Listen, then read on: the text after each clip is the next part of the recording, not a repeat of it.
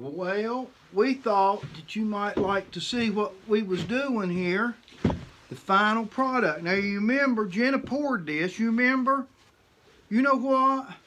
She was shaking like a dog passing a peach pit. That's gross. That's true, that's the way you were shaking, right? Your hand up here.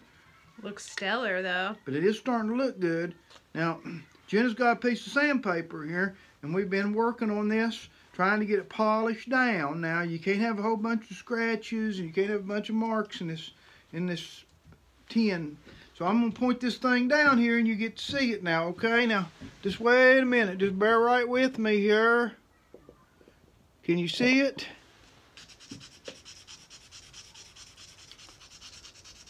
And that's what you do, and you just try to get it really polished down.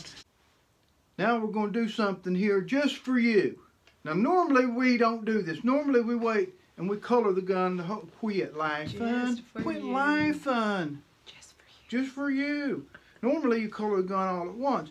But we're wanting you to see this nose cap here, the contrast between these points in the wood, and it's so shiny you can't hardly see it. So Because I did such good work. No, it ain't cause you do such good work. Now, all thumbs is gonna take a, a little a little brush that we got, and she's gonna put some iron nitrate on there, just a little up here.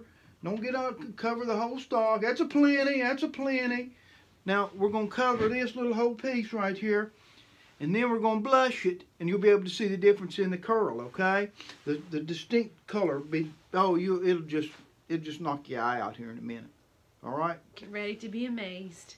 And when that heat gets to it, it'll turn the color on that thing. It's like a tanning bed. All right, after the blush, putting some steel wool to it, and look what we got. If that ain't stripedy cuss. Let me get it out of the light there. What is that tiger blood? I guess, right? I guess that's what done it, huh? Gotta be the tiger blood. Must be tiger blood.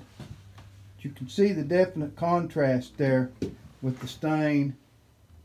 And there's the teeth. You can see the teeth. That's an East Tennessee style.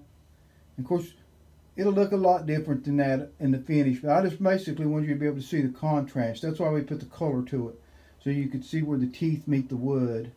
Disclaimer, no actual tiger blood is in this. It's 2021 and people get real testy. Yeah, but that Tigger feller better watch out if he comes by here, right?